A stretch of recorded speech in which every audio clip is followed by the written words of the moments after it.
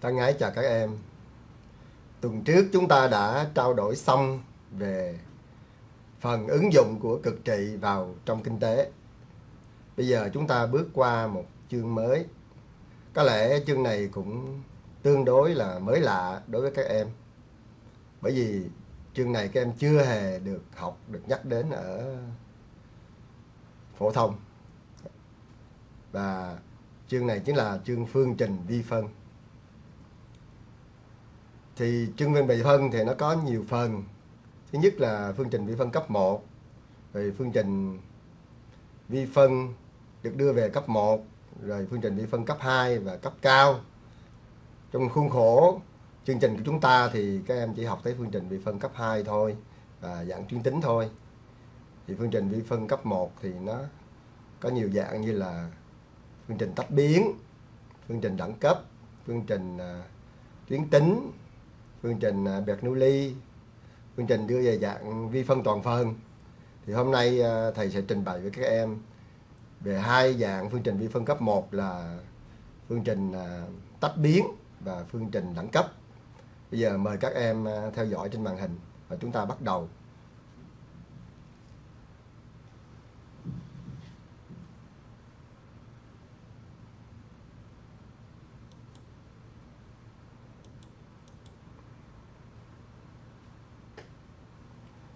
Phương trình vi phân cấp 1 đầu tiên mà các em sẽ gặp đó là phương trình có biến phân ly.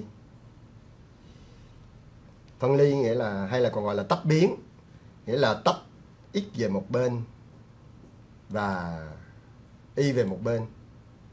Thì phương trình à, có biến phân ly của chúng ta sẽ có dạng là fx dx bằng ri di, nghĩa là chúng ta đưa x về một bên và y về một bên giống như là các em có nhớ hai câu thơ của hàng Mặc tử là gì? Gió theo lối gió mây đường mây. Thì ở đây là x theo lối x y đường y. Thì chúng ta tách x về một bên và y một bên để chúng ta dễ dàng lấy tích phân hai vế. Vậy thôi. Thì phương trình à, có biến phân ly sẽ được đưa về dạng thứ nhất là fx dx bằng ri di, hoặc là f1 x nhân R1Y nhân DX bằng F2X nhân r2y nhân DY. Thì cách giải rất là đơn giản, như phương trình này thì chúng ta chỉ cần lấy tích phân hai vế. Phương trình thứ hai thì chia hai vế cho F2X và D1Y thì chúng ta lại có dạng thứ nhất thôi. Bây giờ cách giải thì phương trình thứ nhất chúng ta chỉ cần lấy tích phân hai vế thì chúng ta giải được thôi rồi phương trình thứ hai đó, với phương trình thứ hai thì các em theo dõi tiếp là chúng ta sẽ đưa nó về dạng của phương trình 1 vậy thôi. Chúng ta sẽ đưa hai về một. Với phương trình 2 thì các em à, biện luận trường hợp thứ nhất là khi à, f f1 x bằng 0 á còn d1y nó bằng 0 á, có phải là nghiệm hay không? Và F2x bằng 0 có phải là nghiệm hay không? Rồi sau đó các em lại chia cho F2x nhân cho D1y đó. Các em sẽ đưa được về dạng thứ nhất thôi. Bây giờ các em theo dõi tiếp nè, chúng ta sẽ nói cách giải của phương trình thứ hai.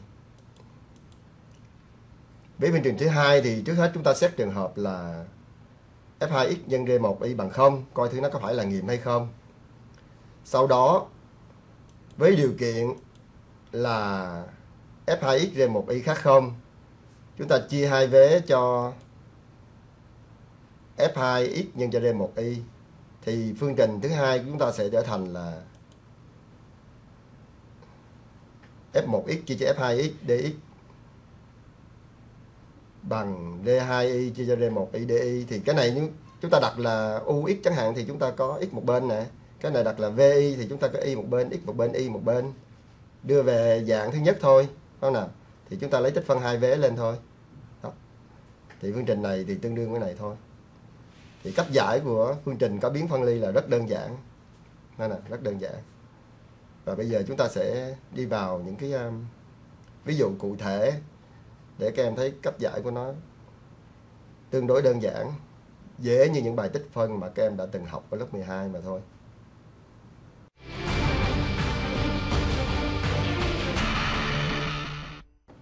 Ví dụ giải phương trình ba ơ mũ x nhân tan y nhân dx cộng với 2 trừ ơ mũ x nhân cho 1 cộng tan bình phương y nhân dy bằng 0. Với phương trình này đó, các em hãy cố gắng đưa nó về phương trình tách biến, nghĩa là tách x về một bên và y về một bên. Đó nào. Các em quan sát coi thử các em cần chia cái gì thì chúng ta sẽ có x một bên và y một bên nào. Bây giờ cái này là dx thì chúng ta cần chia cho tan y nè. Cái này là di thì cái này là y rồi, chúng ta chỉ cần chia cho 2 trừ ơ ơ mũ x. Vậy thì um, cam coi thử khi tan y bằng 0 có phải là nghiệm hay không nào? Khi tan y bằng 0 á thì cam có là y sẽ bằng là kb với k thuộc z là một hằng số thì đi bằng không Do đó tan y bằng không, rõ ràng là nghiệm. Bây giờ chúng ta lại xét tiếp là 2 trừ ơ mũ x bằng không có là nghiệm không nào? 2 trừ ơ mũ x bằng không thì ơ mũ x bằng 2 tức là x bằng log 2. x bằng log 2 là x là hằng số thì cái này bằng không thì dx cũng bằng không x là hằng số thì dx bằng không, do đó cuối cùng chúng ta có là 2 trừ ơ mũ x bằng không cũng là nghiệm. Do đó, phương trình 3 chúng ta sẽ tương đương với 3 chúng ta sẽ tương đương với tan y nhân cho 2 trừ ơ mũ x bằng 0. Tức là cái này là nghiệm rồi này. Hay sau đó là trường hợp nó khác không đó. Chúng ta chia hai vế cho tan y nhân cho 2 trừ ơ mũ x. Và đồng thời chuyển vế luôn đi các em. Chuyển vế luôn thì chúng ta được là tích và tích tích phân hai vế luôn. Chia cho tan y nhân cho 2 trừ e mũ x chuyển vế và đồng thời lấy tích phân hai vế chúng ta có là tích phân của 3 nhân e mũ x dx chia cho 2 trừ e mũ x bằng trừ với tích phân của này. Nếu cái tích phân này thì hình như các em quá quen thuộc ở lớp 12 rồi phải không nào? Thì cái này là gì? Nếu đặt mẫu số là u á, bỏ số 3 này đi thì ở x dx chính là trừ du. Do đó chúng ta có là trừ 3 du chia cho u thì cái này nó sẽ là là trừ 3 lần log u.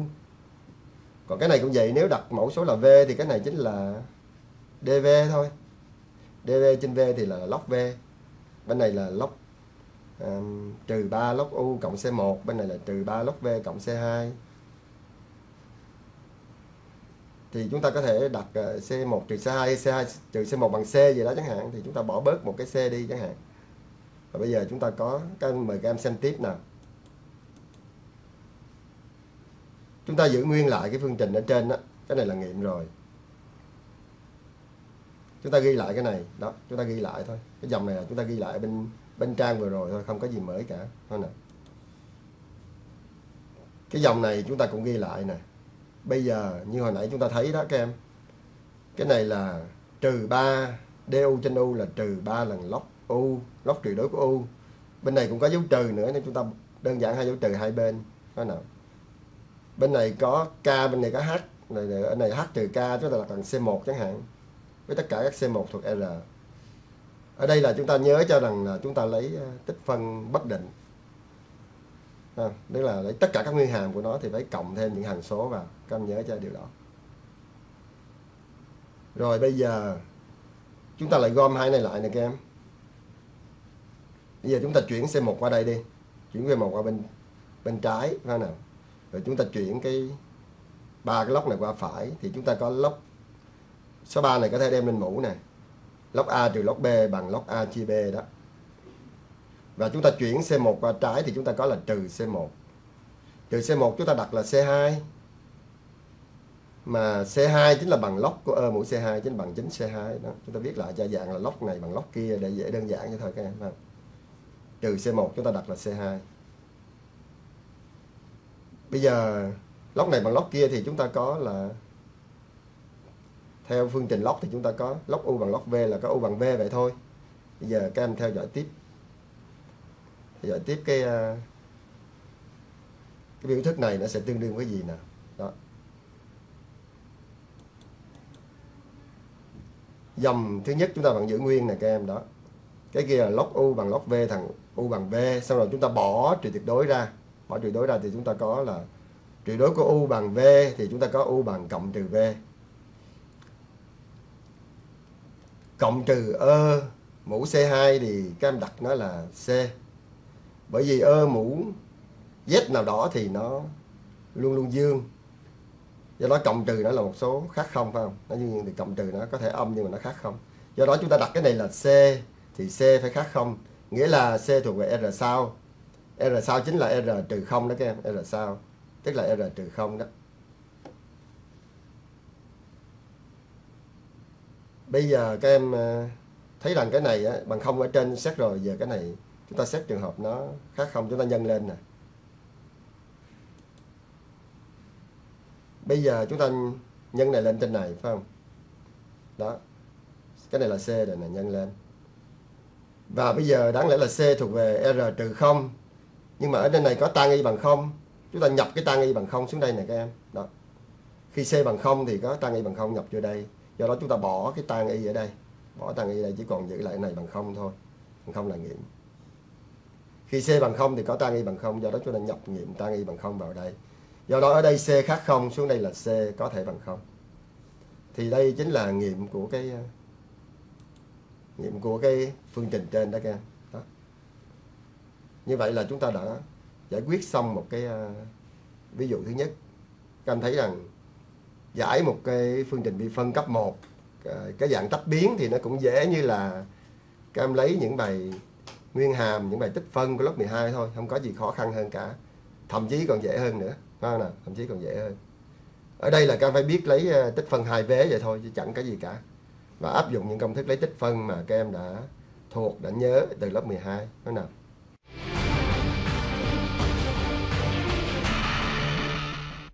Bây giờ các em à, theo dõi tiếp một ví dụ nữa.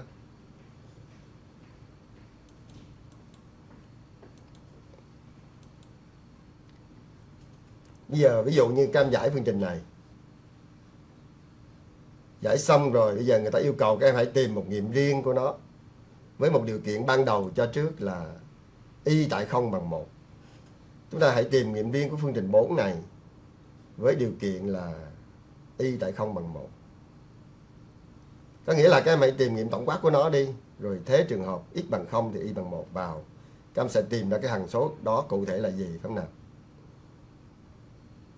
Bây giờ chúng ta cứ giải bình thường trước đi các em. Bây giờ chúng ta giải nó. Chúng ta sẽ đưa nó về phương trình gì? Tách biến tức là phương trình cả biến phân ly. Bây giờ các em thấy y phải bằng di chia dx vào. Chúng ta có 4 tương đương với y phải chúng ta thay bằng là di chia dx đó, y phải thay bằng di chia dx bây giờ chúng ta nhân dx lên trên này phải không các em? Và chúng ta chia hai vế cho gì nữa? Chia hai vế cho một cộng x thì chúng ta có phương trình này tương đương với phương trình này đó, chia nhân dx lên trên và chia hai vế cho một cộng x thì chúng ta có phương trình này. Rồi bây giờ nó rõ ràng nó là phương trình tách biến y một bên và x một bên. Chúng ta lấy tích phân hai vế thì tích phân của vế trái chúng ta có là y bình phương trên 2 cộng với h chẳng hạn. Bên này là log phải không? Log của một cộng với x cộng với k. K trừ h chúng ta đặt là c. Ở đây chúng ta hiểu ngầm rằng là c thuộc về r mà chúng ta không ghi ra đó các em ở đây chúng ta hiểu ngầm rằng c thuộc r mà chúng ta không ghi ra. Các em thấy rằng cái này cũng dễ thôi, y hệt như là những bài toán sơ đẳng nhất của lớp 12 thôi. Những bài toán nguyên hàm sơ đẳng nhất của lớp 12 và mời các em theo dõi tiếp. Nó nào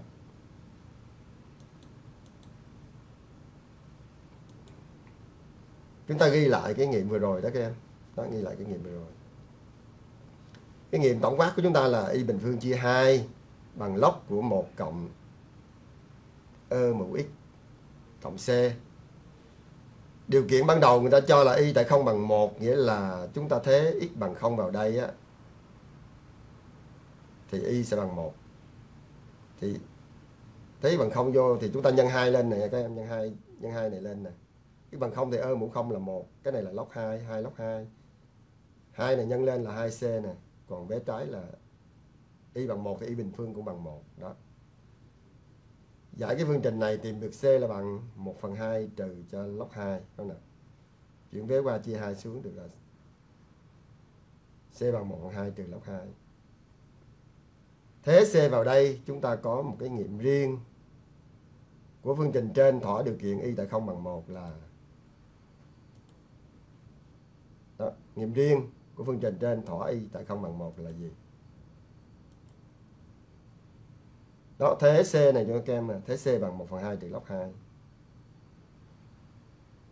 bây giờ chúng ta cho cái log 2 vô đây đi, log A trừ log B bằng log A chia B cho nó gọn lại nè, cho nó gọn lại một chút.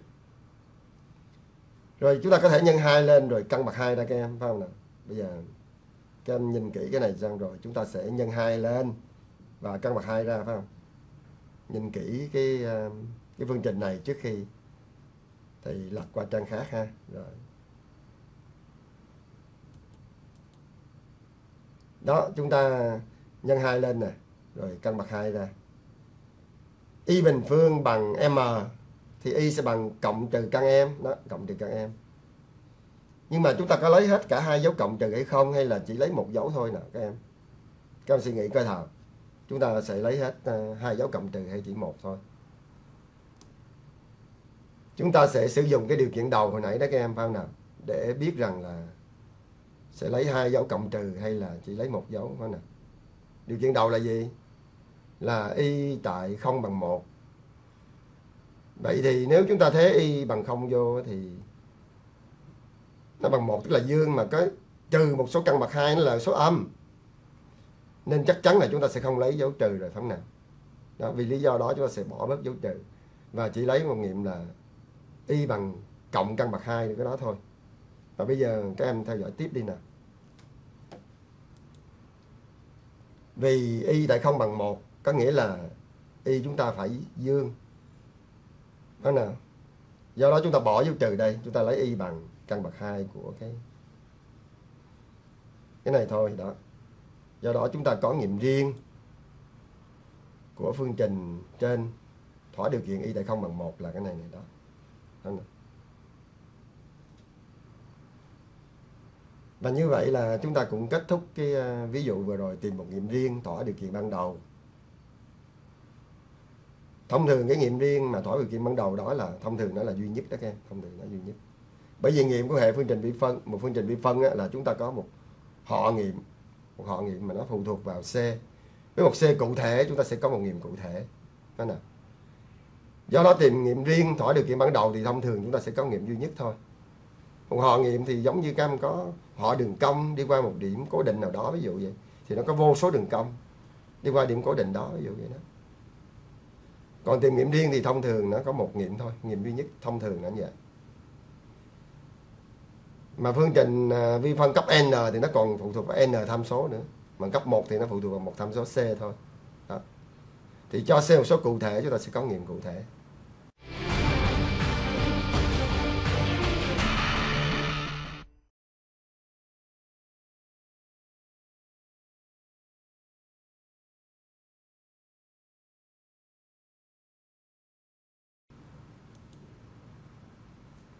Bây giờ chúng ta lại có một ví dụ nữa về cái phương trình à, tách biến.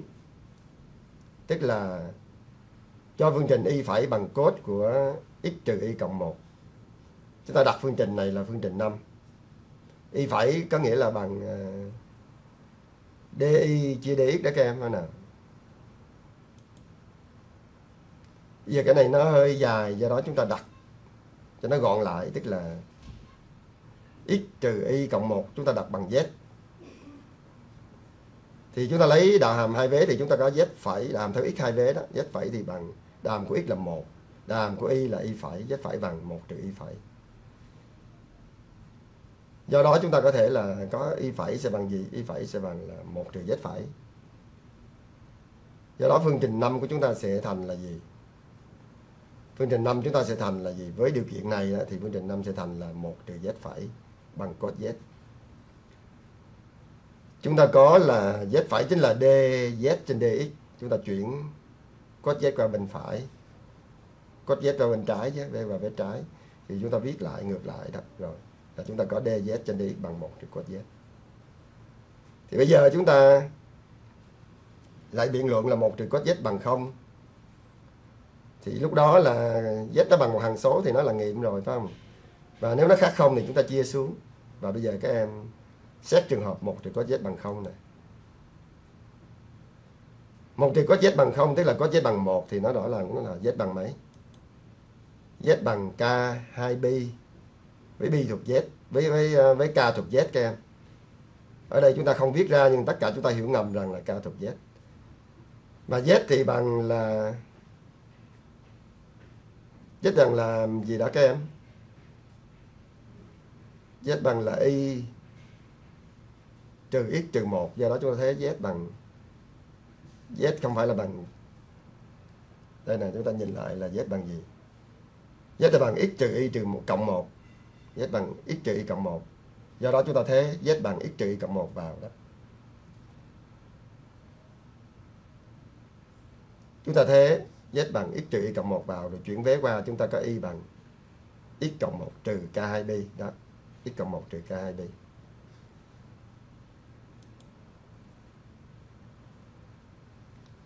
thì đây là một họ nghiệm của phương trình với một k cụ thể, chúng ta có một nghiệm cụ thể. Và ở đây k thuộc về tập hợp z là các số tự nhiên tương đối đó các em, các số nguyên tương đối.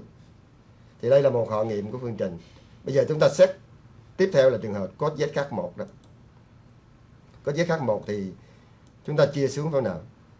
Có trái có 1 thì phương trình 5 sẽ thành là dz trên 1 trừ cos z bằng dx 1 trừ cos z chúng ta biến đổi lượng giác là bằng 2 sin bình phương z chia 2 thì chúng ta thấy đạo hàm của gì? Đạo hàm của cô tan z trên 2 sẽ bằng là 1 phần 2 chia cho sin bình phương z trên 2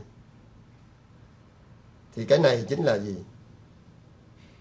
Đạo hàm của trừ cô tan chứ, phải không? cái này z trên 2 cái này là d của trừ cô tan z trên 2 chúng ta lấy tích phân 2 vế lên. Lấy tích phân 2 vế lên, chúng ta được là mấy các em theo dõi tiếp. Chúng ta lấy tích phân 2 vế của cái phương trình này nè. Đó. đó, chúng ta có trừ cô tan của z chia 2 bằng x cộng c. Chúng ta lại thay z bằng x trừ y cộng 1 vào này các em đó, vậy thôi bây giờ chúng ta lại chuyển vé qua đi. Chuyển vé qua và lấy à, à cô ta hai vé. Chuyển vé qua lại ạc cô ta hai vé. Thì chúng ta sẽ có là ạc cô tan của cái gì? Của hai lần ạc cô nhân hai lên luôn đó kia ạc cô tan của trừ trừ c là bằng là rồi trừ y trừ x cộng 1 thì chúng ta chạy chuyển vé qua nữa, thì chúng ta sẽ có cái nghiệm cái này này tương đương như cái này. Còn nghiệm này đó các em, nghiệm này là nghiệm hồi nãy chúng ta đã giải trường hợp mà có z bằng một đó. Và đây là nghiệm trong trường hợp gì? Trong trường hợp tổng quát luôn đó các em, phải nào? Đây là nghiệm trường hợp có z bằng một. Đây là nghiệm trong trường hợp có z khác một đó.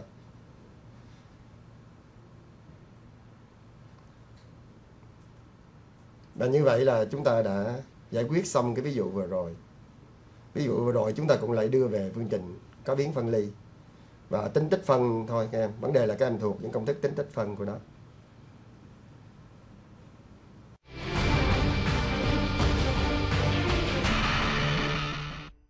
Bây giờ các em qua một phương trình à, vi phân cấp 1 mà cũng đơn giản thôi, gọi là phương trình vi phân đẳng cấp các em nhớ cho rằng đẳng cấp ở đây là đẳng cấp giữa x, y và x nhân y đó các em thật ra nó không phải là cấp 1 ở đây là phương trình vi phân cấp 1 thôi, đạo hàm ở cấp 1 chứ không phải x và y ở cấp 1 thông thường đó, thì phương trình đó chúng ta được đưa về dạng là gì? Được đưa về dạng là f của y chia x. Hoặc là cái dạng này thì chúng ta thay y phẩy bằng là y phẩy là bằng f của y chia x, thì chúng ta thay y phẩy bằng d chia dx rồi nhân chéo lên chúng ta được cái dạng này. Hai dạng này là tương đương nhau không nào? Hai dạng này là tương đương nhau. Với phương trình này thì chúng ta đặt u bằng y chia x thế nào? U bằng y chia x. Chúng ta nhân hai vế chia x lên, chúng ta suy ra được rằng là y bằng u nhân x. Lấy vi phân hai vế này, chúng ta được là di bằng u dx cộng x du cái này chính là vi phân của một tích số mà các em đã biết từ lớp 12 này không có gì cả phải không nào? Rồi chúng ta thế vào đi các em, thế y trên x bằng u vào phải không nào? Thế à, di bằng u dx cộng x du vào. Thì phương trình 6 chúng ta sẽ thành là gì? U dx cộng x du bằng f của u nhân dx chúng ta chuyển cái u dx về vế phải luôn này các em chúng ta có tương đương với là xdu bằng fu trừ u. Bây giờ muốn đưa về phương trình tách biến thì chúng ta phải biện luận trường hợp. X bằng 0 là nghiệm hiển nhiên rồi, phải không? X bằng 0 thì x bằng 0 là nghiệm rồi. Bây giờ trường hợp fu trừ u bằng 0 có là nghiệm hay không? fu trừ u bằng 0 á là vế vế phải bằng 0 muốn nói là nghiệm thì vế trái cũng phải cũng phải bằng 0 do đó du phải bằng hằng số. U phải bằng hằng số thì du mới bằng 0 do đó trường hợp fu bằng u bằng hằng số cũng là nghiệm nữa. Và khi x khác 0 và fu trừ u khác 0 chúng ta chia hai vế cho x nhân fu trừ u, chúng ta được phương trình này nè các em. Tương đương với phương trình này, đó. Và đây là phương trình tách biến bởi vì sao? Bởi vì u một bên và x một bên. Đây là phương trình tách biến hay còn gọi là phương trình cả biến phân ly. Cách giải của nó là như vậy thôi. Cách giải nó đơn giản như vậy thôi. Sau khi biết cách giải của nó rồi, thì chúng ta sẽ xét những ví dụ cụ thể. Không? Chúng ta sẽ xét những ví dụ cụ thể.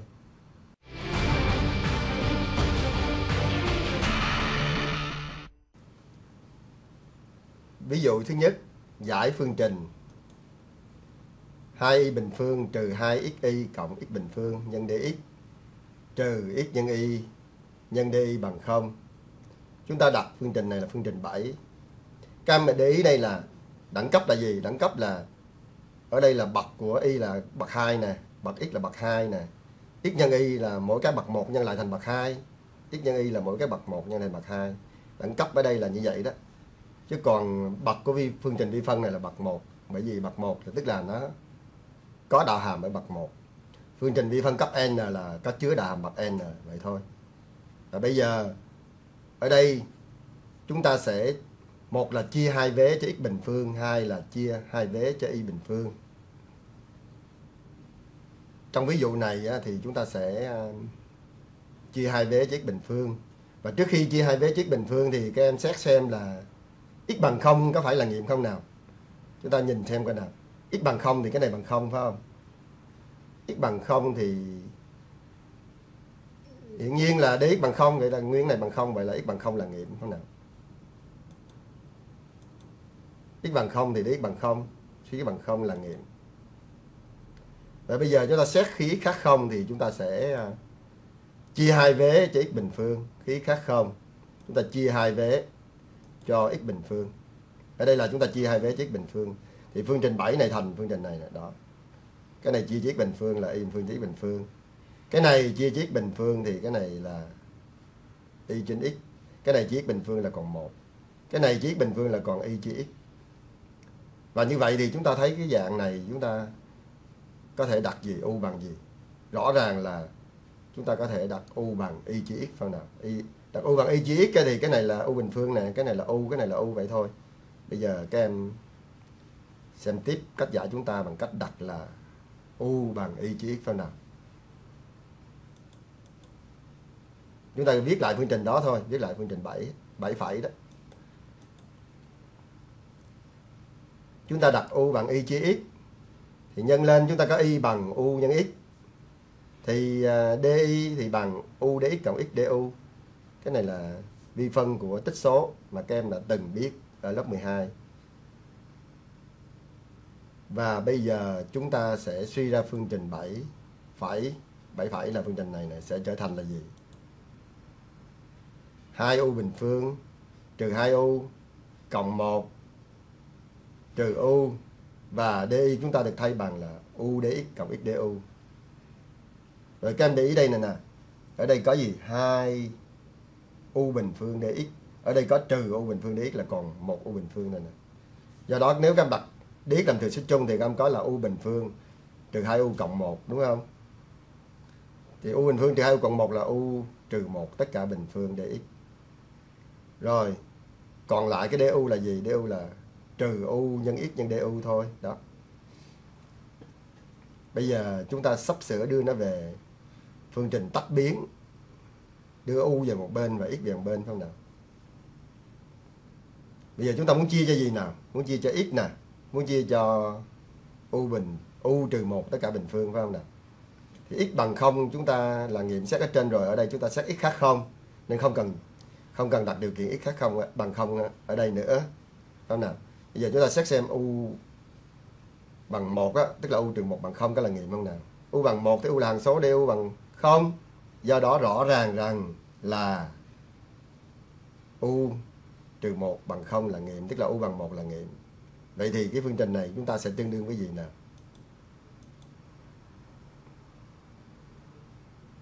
Đó, chúng ta ghi lại cái phương trình vừa rồi thôi, cái này ghi lại thôi. U bằng 1 là nghiệm, phải không nào?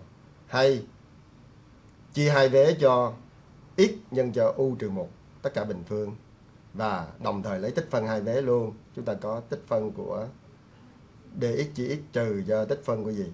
u du chia cho u trừ 1 bình phương bằng 0. Chia hai vế cho x nhân với u trừ 1 tất cả bình phương đồng thời lấy tích phân hai vế đó các em đó. Cái tích phân này thì quá dễ đối với các em không nào? Ở lớp 12 các em lấy nhiều cái tích phân khó khăn hơn nhiều phải không nào? Và để đậu vào đại học thì chắc chắc các em dư sức làm những cái tích phân này rồi phải không nào? Đó.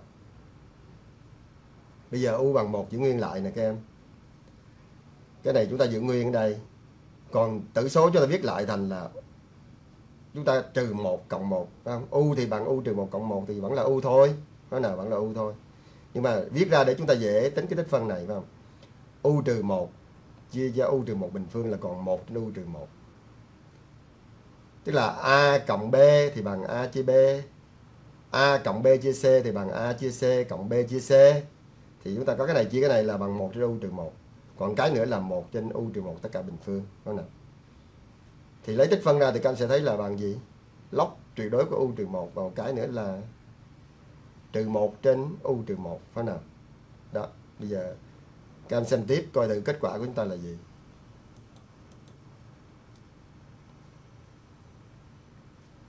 Đó, một cái là chúng ta có log tuyệt đối của u trừ 1 còn kia là trừ log x. Trừ log x thì chúng ta log chúng ta có log a trừ log b thì bằng log a chia b đó, chúng ta nhập chung vô đây luôn. Còn một cái tích phân nữa là trừ một trên u trừ một. Chúng ta giữ nguyên lại. Và tích phân của bên phải là tích phân của không là c thôi, đó. Chúng ta lấy tích phân hai vế đó mà. Không cần lấy tích phân nữa, chúng ta có thể có c đó, cộng c chúng ta chuyển qua bên, cộng c1 chuyển qua bên phải thành trừ c1 chúng ta đặt là c cũng được. Chúng ta lấy tích phân hai vế ở trên rồi không?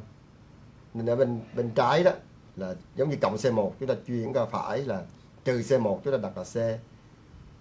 Với tất cả các xe chạy trong R. Và bây giờ chúng ta sẽ thế lại U bằng Y chia X vào phải không nào? U bằng Y chia X thì chúng ta có gì? Thay U bằng Y chia X thì chúng ta, có nghiệm của 7 là gì nào? Là Y bằng X y chí x bằng 1 tức nghĩa là y bằng x đó các em, đó. Hay gì? Hay là thế u bằng y chí x vô nè các em. Tức là nhân tử và mẫu cho x thì chúng ta được, cái này sẽ bằng cái này đó. Thế u bằng y chí x và nhân tử và mẫu cho x chúng ta cũng được, cái này sẽ bằng cái này, đó. Và đây chỉ là trường hợp nghiệm của nó trong trường hợp x khác không các em. Ở đây chúng ta làm trường hợp x khác không không nè khi x khác không vậy bây giờ chúng ta thêm cái x bằng không nữa vào thì chúng ta có tất cả các nghiệm của nó, phải không nào? Tất cả các nghiệm của 7 giờ chúng ta nhập cái nghiệm x bằng không vào luôn đi các em. Đó. Thì chúng ta kể tất cả các nghiệm của 7 để các em nhìn lại nghiệm trong trường hợp x khác không nè. Bây giờ chúng ta nhập. Nhập cái nghiệm của gì? Nghiệm x bằng không vào luôn đi, phải không? Nhập nghiệm x bằng không vào thì chúng ta được. Vậy nghiệm của 7 sẽ là gì? X bằng 0 hay y bằng x hay log của y trừ x chia x bình phương trừ tuyệt đối trừ cho x chia y trừ x bằng c Và đây là nghiệm của phương trình 7 ở trên. Dĩ nhiên là phương trình 7 ở trên có thể giải bằng cách là đặt V bằng x chia y. Nhưng mà nó dài hơn nên chúng ta không giải cách đó. Và bây giờ chúng ta xét thêm một ví dụ nữa về phương trình đẳng cấp.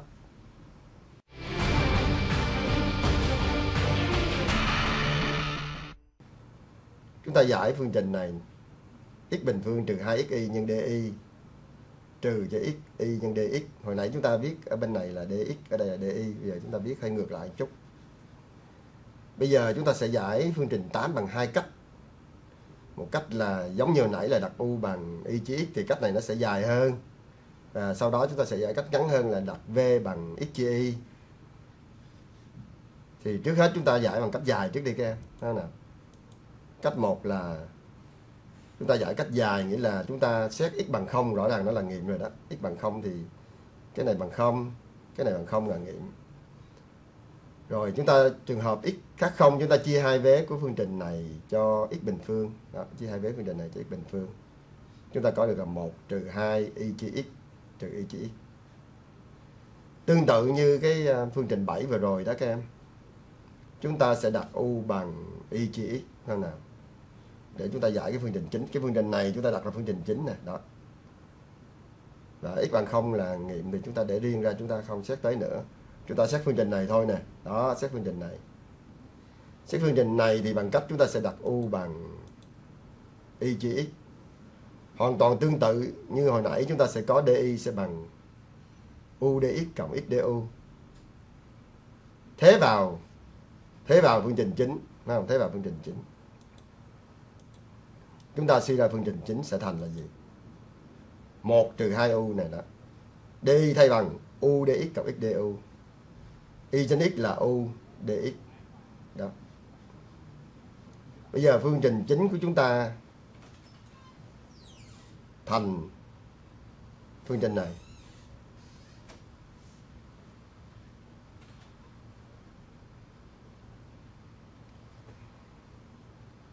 Bây giờ chúng ta rút gọn nó đi các em, rút gọn nó đi không? rút gọn nó đi.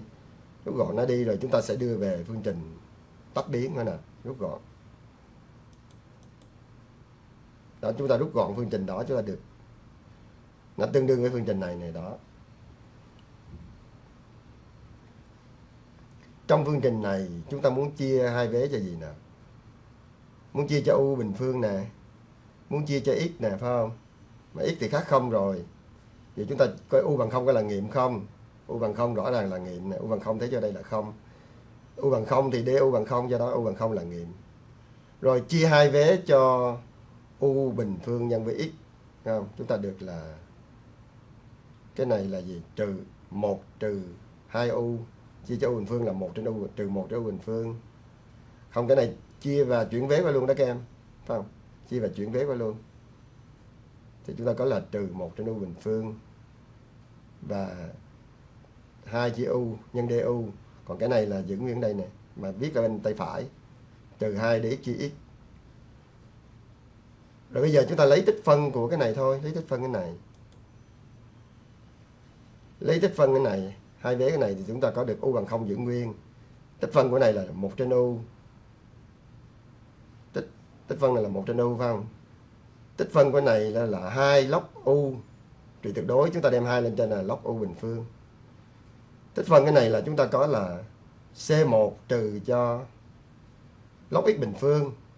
Thì chúng ta C1 chúng ta đặt là log C với C dương. Thì chúng ta biết là log của C chia x bình phương.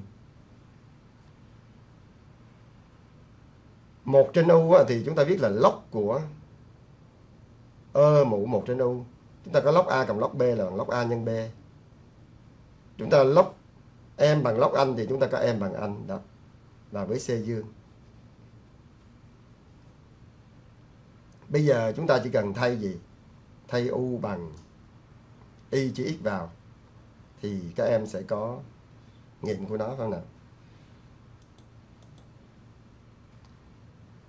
Thấy u bằng y chia x thì u bằng 0 tức là y bằng 0 đó các em đó. Thay u bằng y chia x vào.